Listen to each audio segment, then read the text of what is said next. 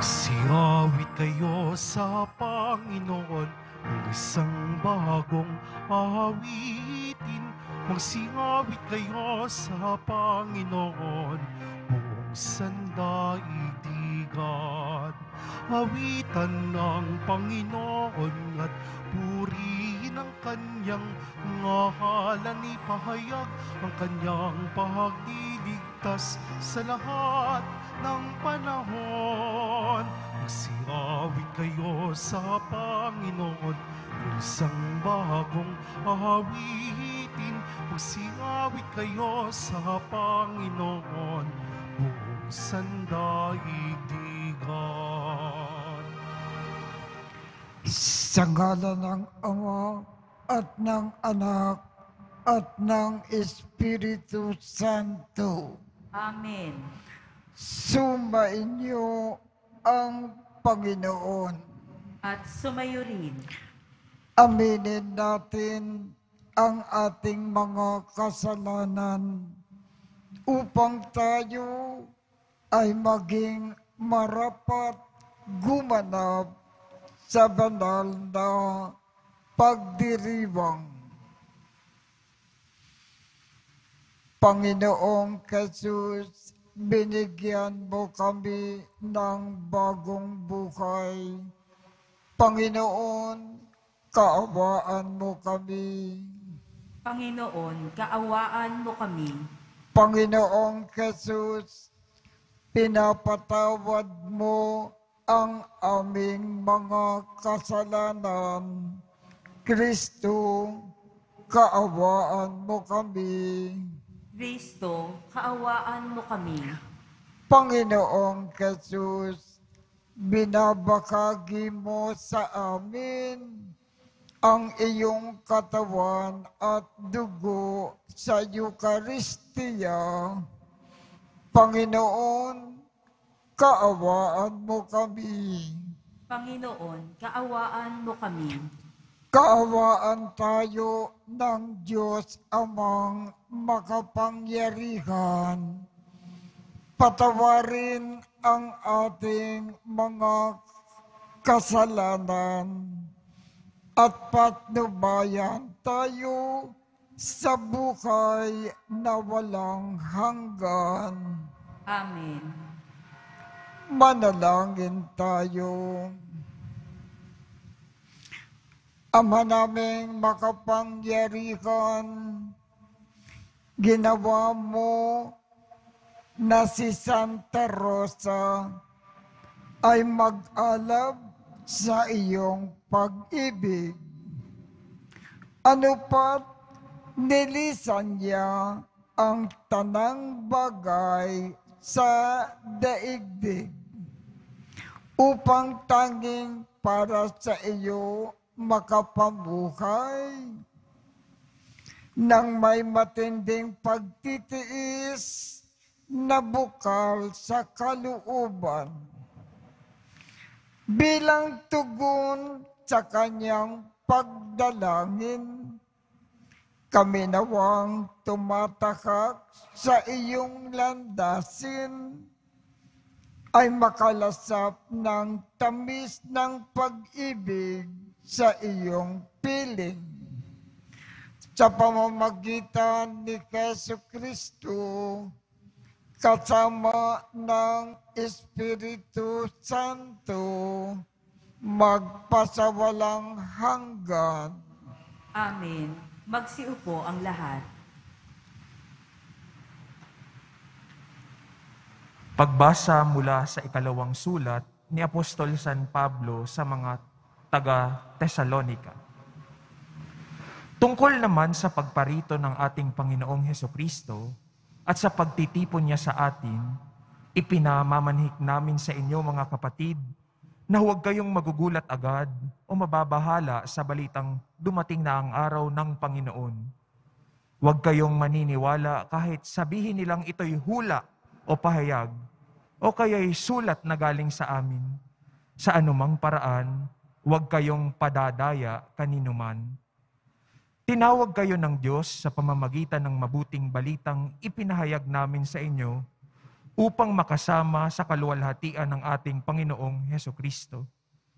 Kaya nga, mga kapatid, manatili kayong matatag sa mga katotohanang itinuro namin sa inyo, maging sa salita o sa sulat.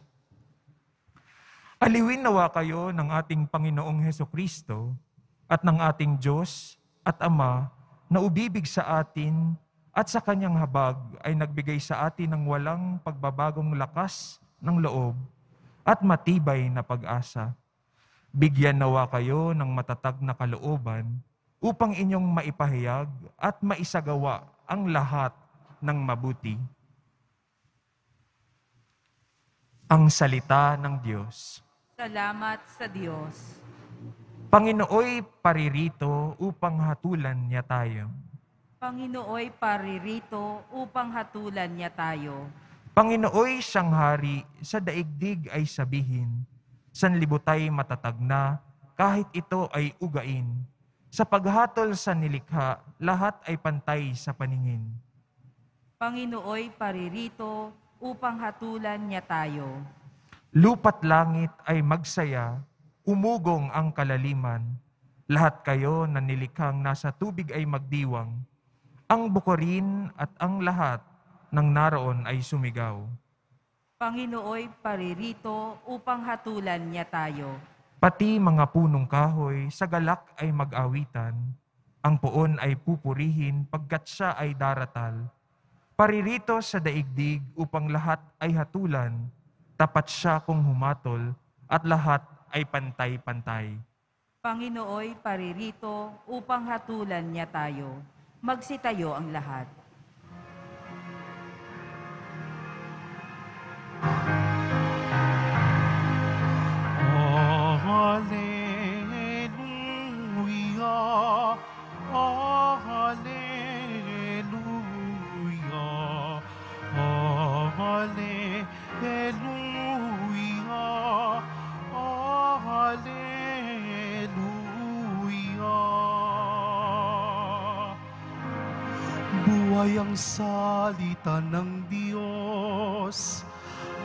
Nitong natatalos, tanang ating nilolob. Hallelujah,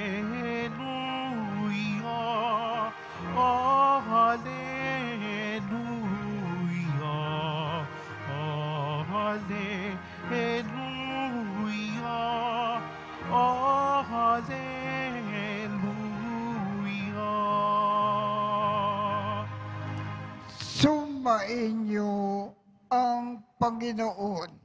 At sumayo rin Ang mabuting balita ng Panginoon ayon kay San Mateo. papuri sa iyo, Panginoon. Noong panakong iyon, sinabi ni Jesus sa aba ninyo, mga eskriba at mga pariseyo, mga mapagpaimbabaw, ibinibigay ninyo ang ikapu ng gulayeng walang halaga. Ngunit kinaliligtaan ninyo na isagawa ang lalong mahalagang aral sa kautusan, ang katarungan, ang pagkahabag, at ang katapatan. Tamang gawin ninyo ang mga ito. Ngunit, huwag naman ninyong kaligtaan na gawin ang iba. Mga bulag na taga-akay, sinasala ninyo ang niknik ng inyong inumin, ngunit nilulunok ninyo ang kamelyo sa aba ninyo mga eskriba at mga pariseyo, mga mapagpaimbabaw, nililinis ninyo ang labas ng tasa at ang pinggan. Ngunit ang loob nito ay puno ng mga nakukutkot ninyo dahil sa kasakiman at pagsamantala. Bulag na pariseyo, linisin mo muna ang mga nasa loob ng tasa at ng pinggan at magiging malinis din ang labas nito. Ang mabuting balita ng Panginoon. Pinupuri ka namin, Panginoong Heso Kristo. Magsiupo ang lahat. Ayon sa ating Panginoon, ang mga pariseyo at ang mga eskriba laging nagbibigay ng tithing sa simbahan. Ngunit kinakaligtaan nila ang tumulong sa mga taong nangangailangan.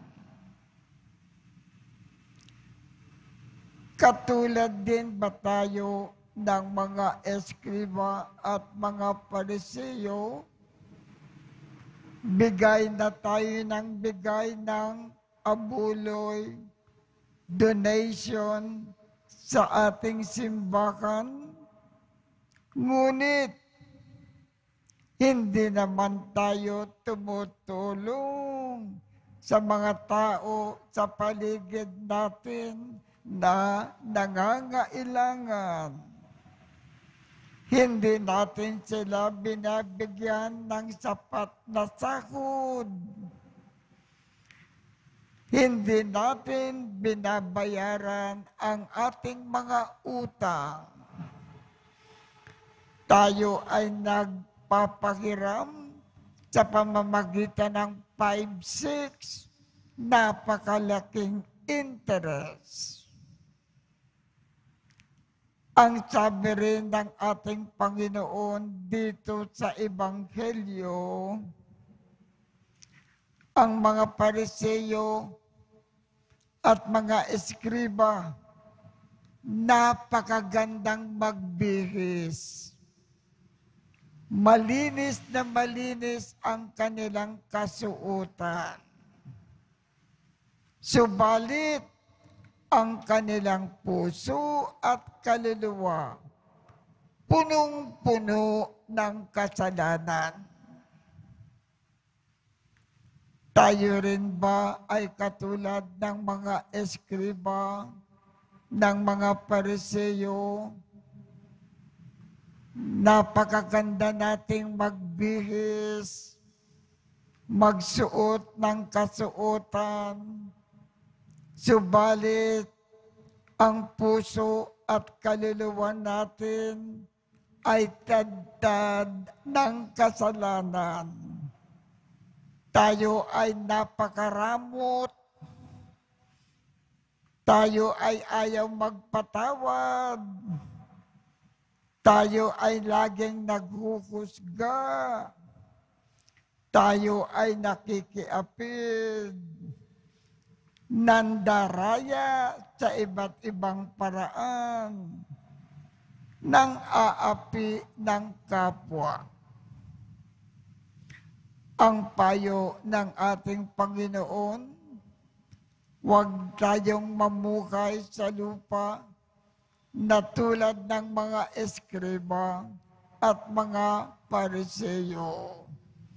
Mamukay daw tayo bilang tunay na Kristiyano.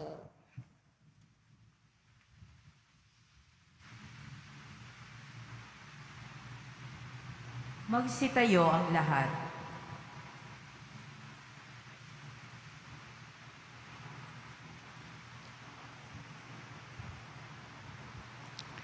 Minamahal kong mga kapatid,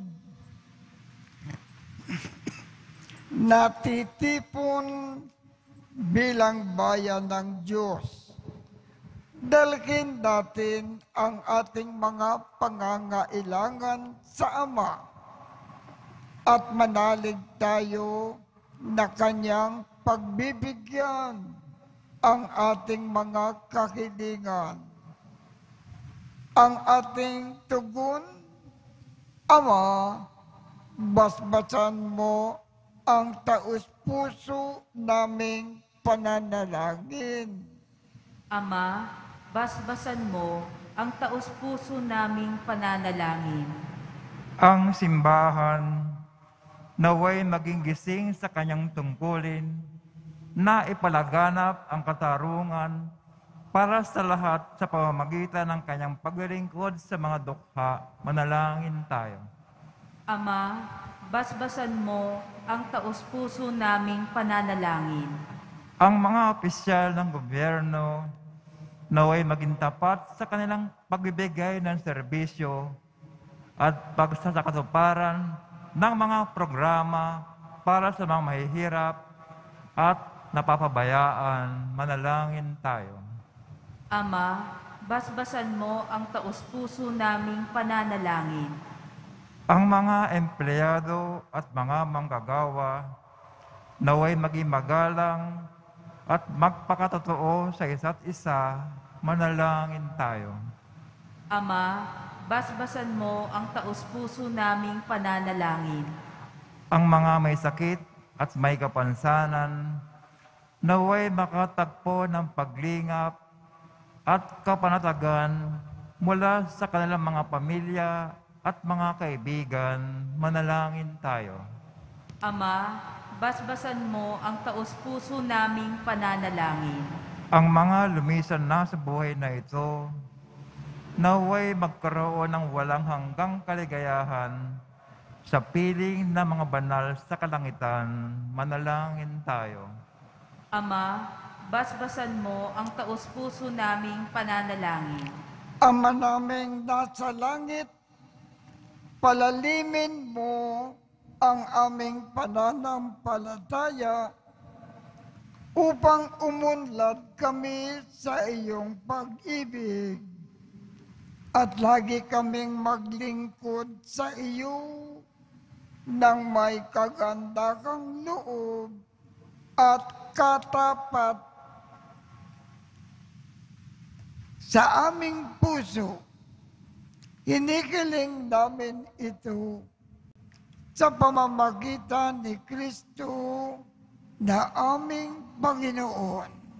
Amen. Magsiupo ang lahat.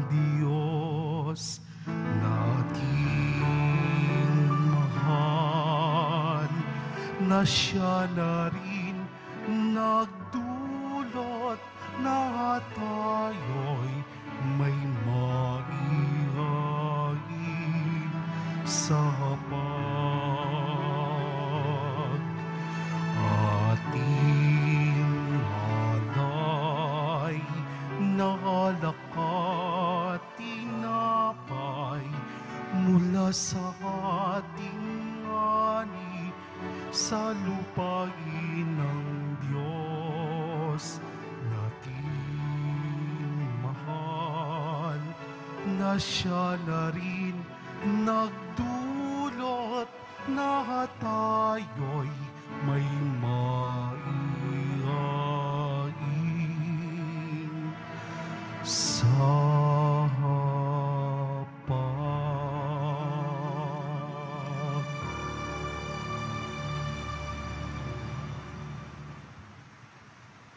Magsitayo ang lahat. Manalangin kayo upang ang pag-aakin natin ay kalugdan ng Diyos amang makapangyarihan. Tanggapin nawa ng Panginoon itong paghahain sa iyong mga kamay sa kapurihan niya at karangalan sa ating kapakinabangan at sa buong sambayanan niyang banal. Ama naming lumikha, sa pagpapakayag namin sa iyong kadakilaan, ngayon na ginugunita namin ang dalaga na si Santa Rosa, ang kalugod-lugod niyang kagitingan sa pamumuhay, ay magpagindapat nawang kalugdan mo ang aming mga alay sa pamamagitan ni Kesu Kristo kasama ng Espiritu Santo magpasawalang hanggan. Amen. Sumainyo ang Panginoon. At sumayo rin Itaas sa Diyos ang inyong puso at diwa. itinaas na namin sa Panginoon. Pasalamatan natin ang Panginoong ating Diyos. Marapat na siya ay pasalamatan. Ama naming makapangyarihan, tunay ngang marapat na ikaw ay aming pasalamatan. Ngayon ay ikinagagalak namin na may mga banal na tao na nagtatalaga ng sarili sa anak mong si Yesu Kristo upang ipamalas nila ang pagkakari mo at maakit ang kapwa na manalig sa iyo. Ngayon, sa amin ay ibinigay ng iyong anak na minamahal ang kabanalang iyong taglay at hangad mong kamtin ng tanan. Ito ang pinanggalingang aming ngayon nililingon. Dito mo rin nais na kami ay makarating at humantong. Kaya kaisa ng mga anghel na nagsisiawit ng papuri sa iyo nang walang humpay sa kalangitan. Kami ay nagbubunyi sa iyong kadakilaan. Santo, Santo, Santo, Panginoong Diyos ng mga hukbo, napupuno ang langit at lupa ng kadakilaan mo, o sana sa kaitaasan, pinagpala ang naparirito sa ngalan ng Panginoon, o sana sa kaitaasan, magsiluhod ang lahat.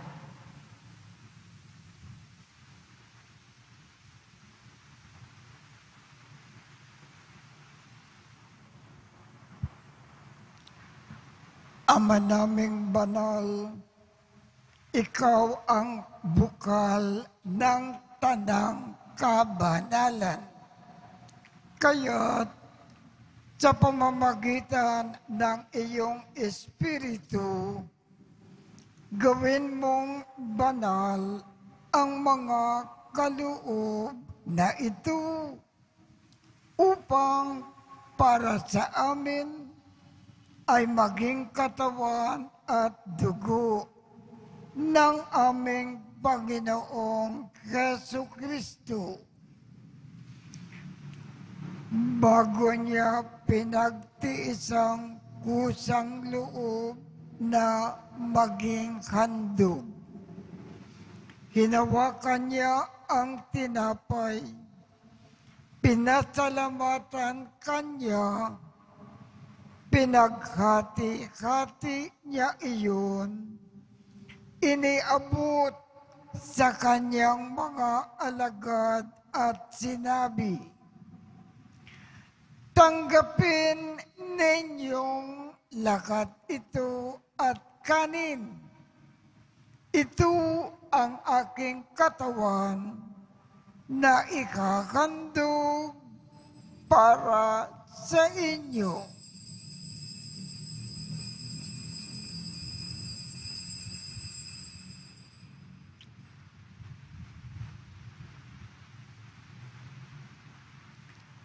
Gayon din naman, noong matapos ang hapunan, hinawakan niya ang kalis, muli kanyang pinasalamatan, iniabot niya ang kalis sa kanyang mga alagad at sinabi, Tanggapin ninyong lakat ito at inumin. Ito ang kalis ng aking dugo ng bago at walang hanggang tipan. Ang aking dugo na ibubuhos para sa inyo at para sa lahat sa ikapagpapatawad ng mga kasalanan. Gawin ninyo ito sa pag-alaala sa akin.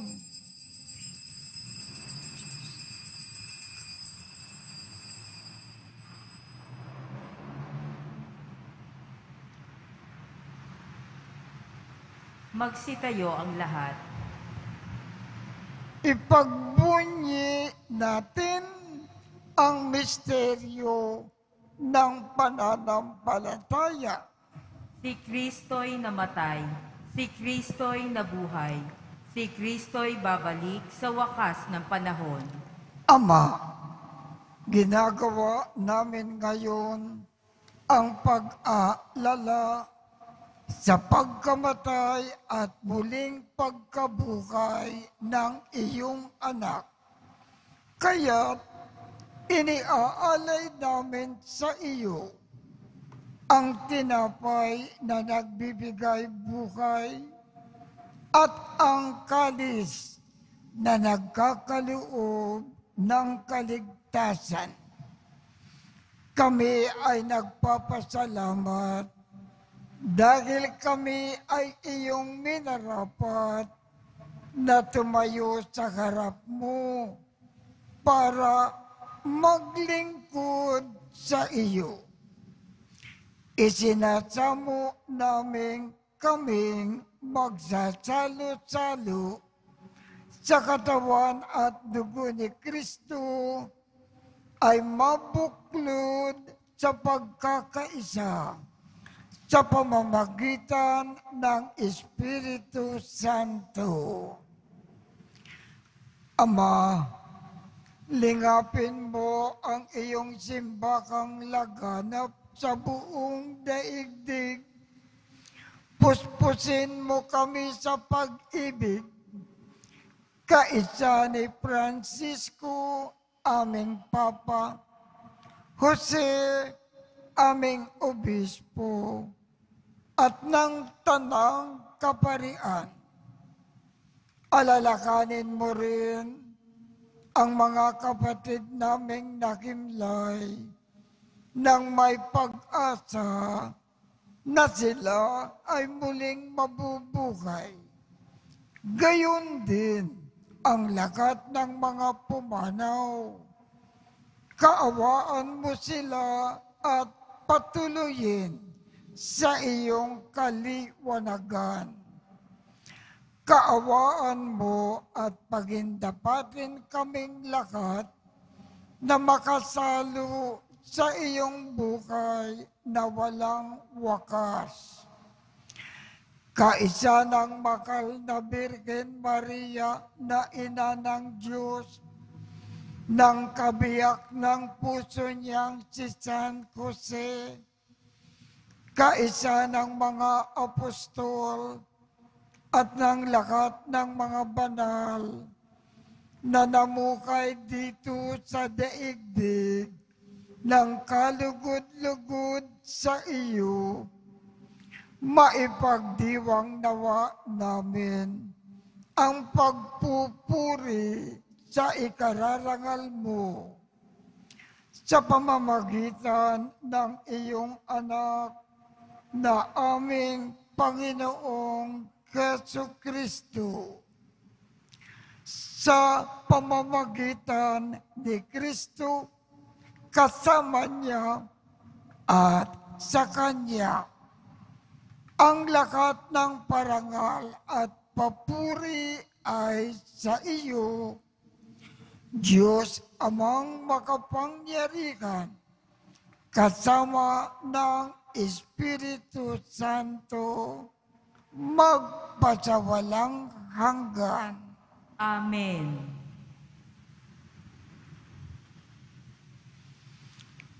Sa tagubilin ng mga nakagagaling na utos at turo ni Jesus na Panginoon natin at Diyos, ipakayag natin ng lakas loob. Ama namin, sumasalangit ka, sambakin ang ngalan mo, mapasa amin ang kakariyan mo, sundin ang loob mo dito sa lupa para nang sa langit. Bigyan mo kami ngayon ng aming kakanin sa araw-araw. At patawarin mo kami sa aming mga sala para ng pagpapatawad namin sa mga nagkakasala sa amin. At huwag mo kaming ipakintulot sa tukso at iadya mo kami sa lakat ng masama. Hinikiling namin, Ama, iadya mo kami sa lakat ng masama. Pagkalooban kami ng kapayapaan sa araw-araw. Iligtas sa kasalanan at ilayo sa lakat ng kapakamakan. Samantalang aming pinananabikan ang dakilang araw ng pagpapakayag ng tagapagligtas naming si Yesu Kristo. sapagkat iyo ang kaharian at ang kapangyarihan at ang kapurihan magpakailanman. Amen. Panginoong Yesu Kristo, sinabi mo sa iyong mga apostol, kapayapaan ang iniiwan ko sa inyo. Ang aking kapayapaan ang ibinibigay ko sa inyo. Tungkayan mo ang aming pananampalataya at huwag ang aming mga pagkakasala. Pagkalooban mo kami ng kapayapaan at pagkakaisa ayon sa iyong kalooban, kasama ng Espiritu Santo, magpasawalang hanggan. Amen. Ang kapayapaan ng Panginoon ay laging sumainyo. At sumayo rin. Magbigayan tayo ng kapayapaan sa isa't isa.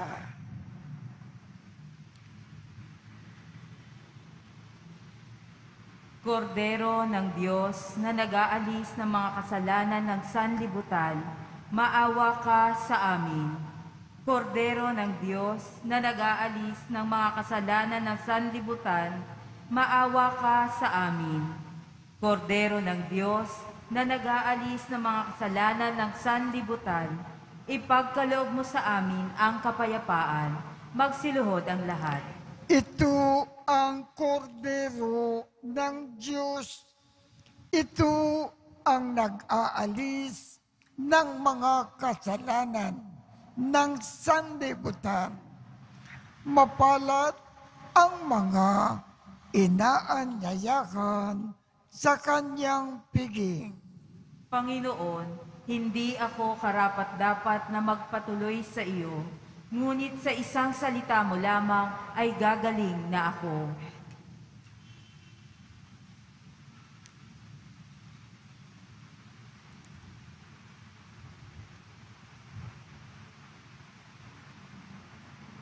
Ang katawan ni Kristo. Amen.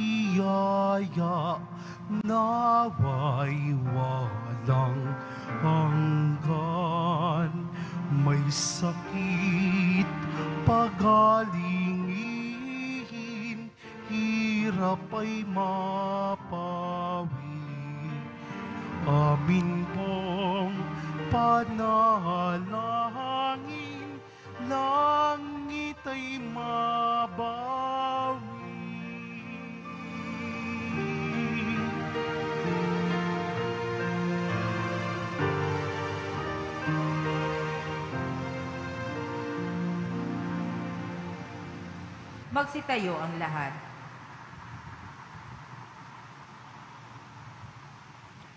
Manalangin tayo. Ama naming mapagmahal. Sa pagsasalo namin ngayon sa banal na pakikinabang, matulungan nawa kami ng ulirang katapatan ni Santa Rosa upang tanging ikaw ang aming makalin habang inaako namin ang malasakit ni Yesu Kristo kasama ng Espiritu Santo magpasawalang hanggan. Amen. Sumainyo ang Panginoon At sumayo rin at pagpalain kayong lahat ng makapangyarihang Diyos, Ama, Anak, at Espiritu Santo. Amen. Tapos na po ang misa. Humayo tayong mapayapa. Salamat sa Diyos.